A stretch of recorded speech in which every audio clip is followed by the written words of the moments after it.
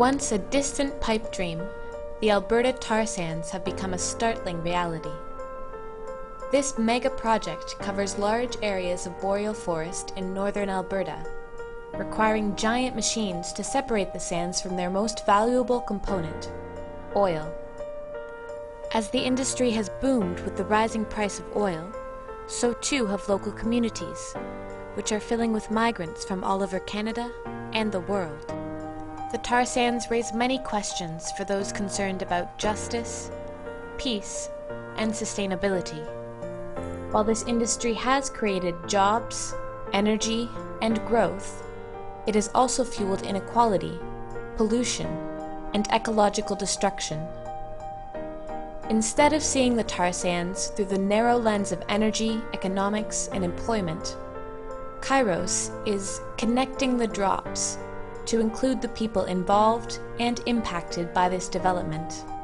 Understanding the tar sands demands a big picture perspective, one that sees the links between our lives, our economy, and our environment.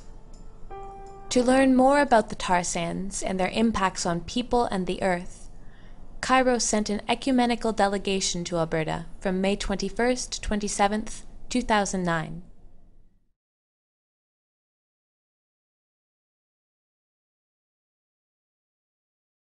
Also heard that we as citizens and we as members of Christian churches have the opportunity to make right decisions that will bless the earth It was even more complicated than I had imagined beforehand.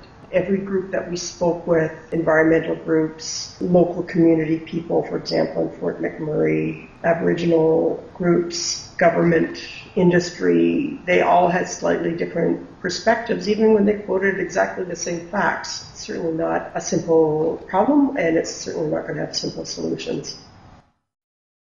They, they appreciated the fact that we didn't just come here or go there uh, wagging our finger at them, you know? We, we came to listen and to learn and to see how we were involved. Our group is here to listen, to listen to your concerns, to listen to how life may have changed or have changed drastically after the industry of uh, tar sands came in. Our goal is to work hard as a team, this delegation, throughout the journey, to listen, to share our concerns, and in the end, to see if we can build common ground for an ecumenical witness to what we learned about the tar sands development.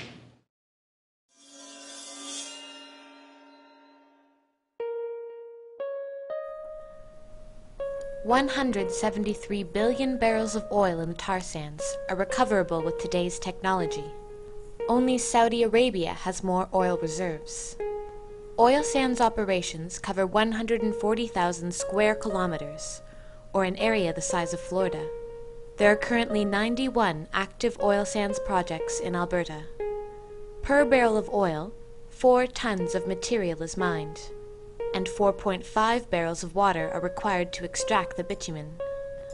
The tar sands generated 4% of Canada's greenhouse gas emissions in 2006. This percentage is projected to rise to 12% by 2020. Extracting oil from the tar sands consumes 10 to 30% more energy than conventional oil sources.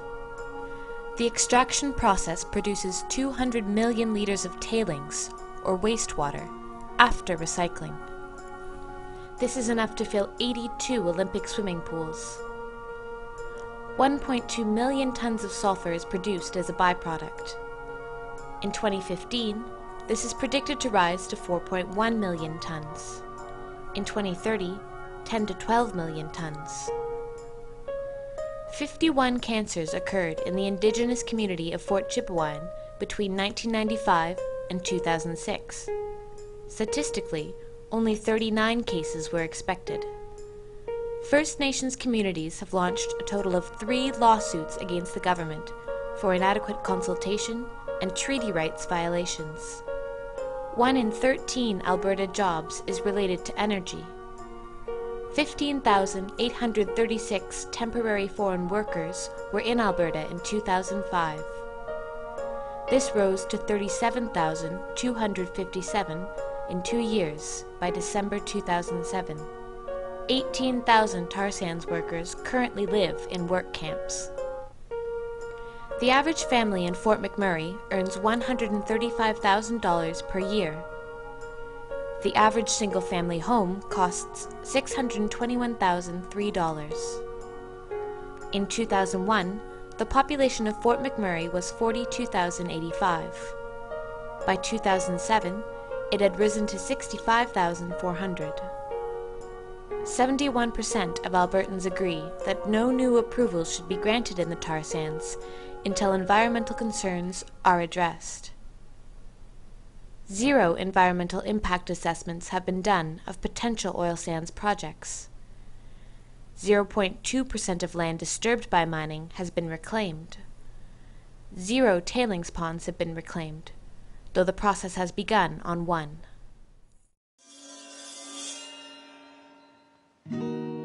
Our cities and societies are often isolated from the natural world, and so we forget our spiritual connection to nature as a part of God's creation.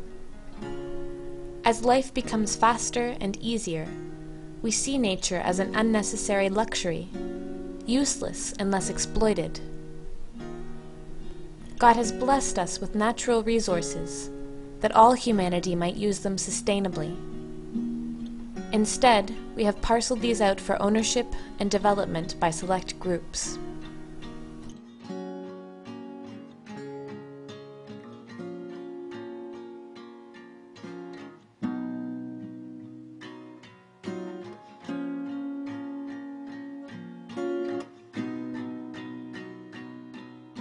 What are human beings for? How are we to relate to the earth and our place within the body of creation?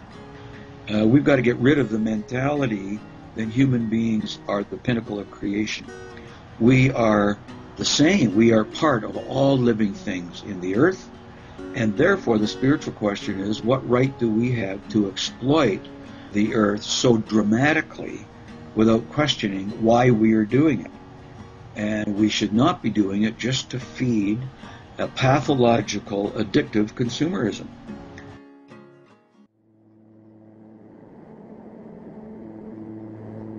the impact of flying over the oil sands and watching and seeing these, these giant, giant machines in operation and, and knowing that they run 365 days a year, 24 hours a day.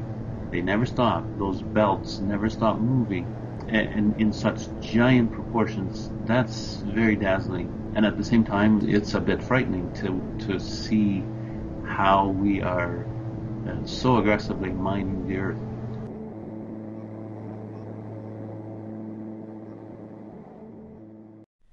The impact of the tar sands extends beyond expectations, reaching across borders and between families. The tar sands have a destabilizing social impact for countless workers, their families, and surrounding communities. Worker migration from Canada's east coast divides families for months at a time. Workers from other countries are also arriving through temporary foreign worker programs, which do little to protect these migrants from exploitation. Employees work long, hard hours in often isolated conditions. Municipalities, such as Fort McMurray, have also felt the strain. Health services, schools, and other infrastructure lack funding and are unable to keep pace with the increasing population. The tar sands' most visible and lasting impact is environmental. Hundreds of square kilometers of boreal forest have been destroyed, and attempts at reclaiming used land have, to date, created non-indigenous, biologically uniform spaces. Huge amounts of water are required to refine the sands, threatening to reduce the volume of the Athabasca River. The refining process creates waste, much of which is stored in man made tailings ponds.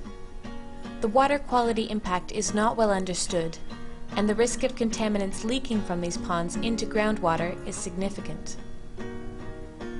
Extracting oil from tar sands produces more greenhouse gases than any other form of fossil fuel production, increasing Canadian emissions at a time when every effort must be made to reduce our carbon consumption.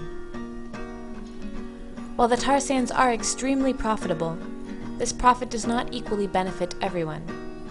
The rate of growth has placed an economic strain on surrounding communities. As more people migrate to Alberta to find employment, costs of housing and basic goods have inflated to unaffordable heights. Instead of benefiting low income residents, much of the profit remains with shareholders and company executives.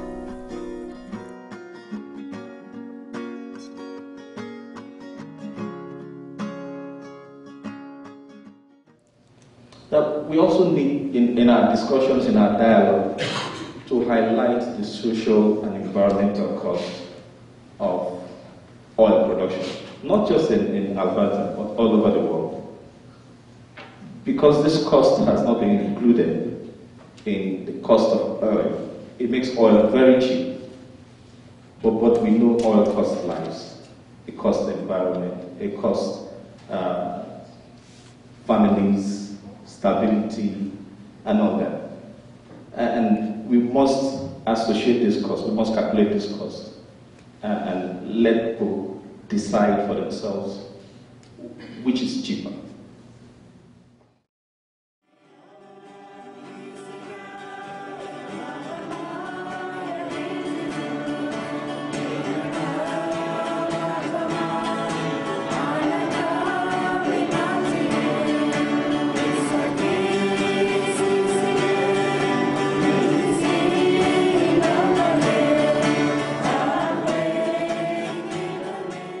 I was talking with the chief of the Mikisew Cree, and she was saying that on the one hand, the elders are telling her that the development needs to stop and the emphasis needs to be on the environment and on the spiritual wellness of the people. And on the other hand, there are other members of the community who are saying, and those who are, you know, heavily involved in, in some of the business aspects relating to tar sands development, who are saying, no, we need to go ahead because of the economic benefit that this has for our community. So even within a small, somewhat homogenous community, there's diverse and conflicting opinions about uh, which direction to go.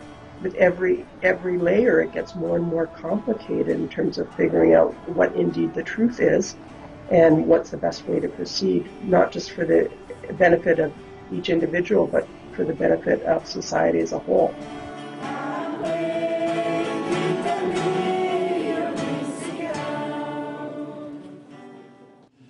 Because if we don't react now, there's going to be a tremendous uh, catastrophe that's going to be happening. It ain't going to be natural, it's going to be man-made.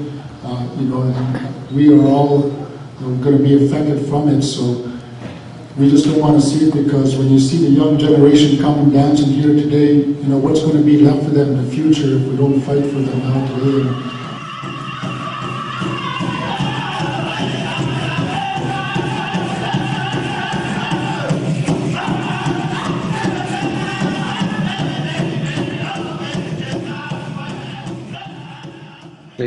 People who live with the effects of the tar sands, uh, the job creation that is there, and some of the folks who have well-paying jobs in the tar sands operations, to all of the cancer questions that are being raised, to the use of their land that is being so deeply affected in terms of wildlife and their their spiritual relationship to the land. And these leaders, one of the things that impressed me is that they asked penetrating questions and they talk very gently and passionately about how the tar sands is affecting their communities. They also, of course, raise the question of the common good and who are the tar sands for.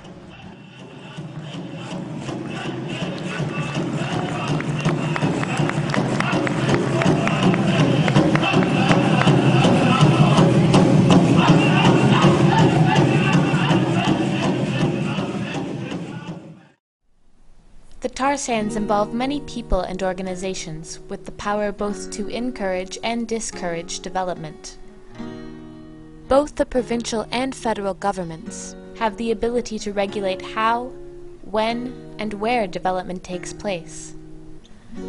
The government could respect indigenous territories and set aside land for environmental protection.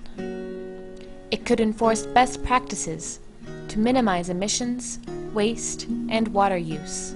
It could sponsor research into the environmental and health impacts of the industry, which would provide a better understanding of how to manage development. It could invest in communities to ease the effects of inflation and population growth. And most importantly, the government could influence the direction of future energy projects, investing in renewable energy instead of throwing full governmental support behind a tar sands economy. Global demand for oil also drives the exploitation of the oil sands. Canada exports over two thirds of tar sands oil, most of which goes to the United States. Canada is the leading provider of oil to the United States, and this export relationship will only grow with current campaigns for secure sources of oil. As the architects of the tar sands, industry bears obvious responsibility. Despite being tied to profits, companies have the ability to improve their practices and working conditions. Industry research into and refinement of technologies to rehabilitate the land, reduce carbon emissions, use less water, and better refine and store tailings could result in significant progress in managing the impacts of development. We cannot exclude ourselves from responsibility. Our northern lifestyles depend on an oil-based economy. Some of our daily routines incorporate activities that we don't connect with this dependence. Buying fruits and vegetables, taking a shower, and traveling to work, to name a few. Living a more ecologically conscious life will lower the demand for oil and help us shift to a more sustainable society. We are people who uh, enjoy the, the benefits that, that flow from the, the lifestyle that, uh, that the oil sands and, and other energy policies and realities give to us. All of us are part of the tar sands mentality. We all rely on, on oil and gas, and that means that ethically, then, we all are involved in seeking solutions without demonizing particular people or particular organizations.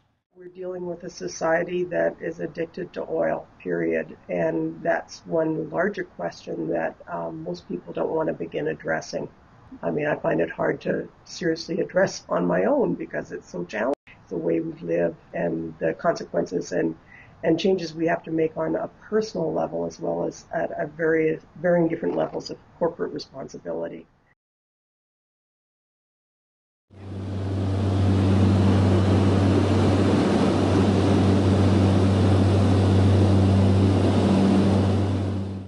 One of the things that really impressed me was the extent to which, if we can develop the technology and develop big machinery to chew up the earth to get at resources, we will do it. We don't have any sense of perspective or restraint.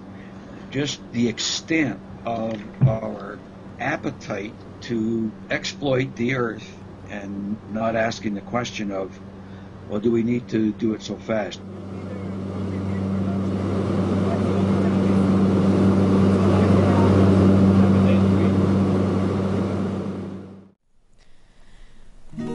Development of the tar sands is both a crisis and an opportunity.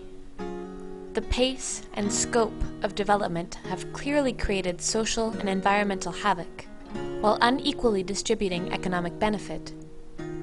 At the same time, the tar sands allow us to examine our dependence on oil through multiple lenses and emerge more conscious of our unsustainable lifestyles. There is no escaping the tar sands. They're in our own backyard. The sooner we transform our concern into action, the sooner we will implement real, hopeful solutions.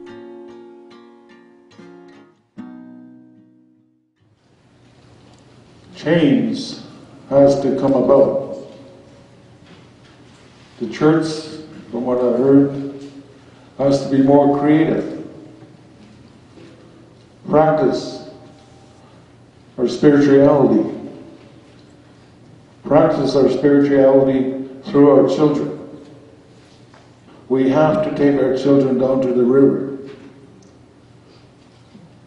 When is the last time we've done that? So we all know, either as individuals or, or as a group or as a society, especially as a society, change is so hard and difficult to do or even contemplate because we embrace too tightly our creature comforts. It doesn't matter how complicated the situation is or the fact that it might be controversial. There's a role for us as individuals, and there's certainly a role for us as churches to be involved asking questions, learning as much information as we can from as many different sides and opinions as we can. And I think recognizing that we as individuals are going to have to do something to change our individual way of our addiction to oil, our lifestyle. But it also means that we have to pressure government to take some responsibility and some leadership in this area. And I think it's doable. In the end, I came away thinking this is not going to be easy, but um, unless we start, it's just going to get harder. So it's time to get on and, and, and begin with things.